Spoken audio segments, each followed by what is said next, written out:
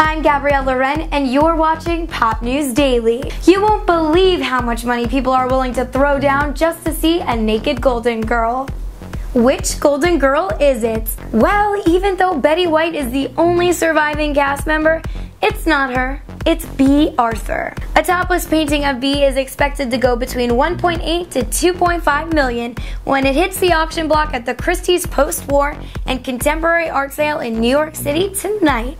The portrait is simply called Bea Arthur Naked and was painted in 1991 by artist John Currin during the Golden Girl years. John said, I had a vision in my head of Bea Arthur. I found a picture of her.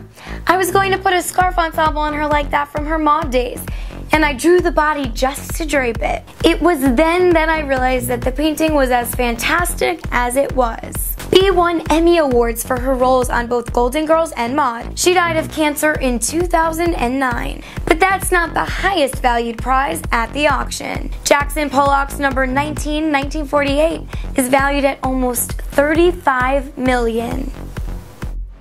Betty, the ball is now in your court. Sex tape, baby? Tweet us at PopStopTV if you guys think she should make it happen.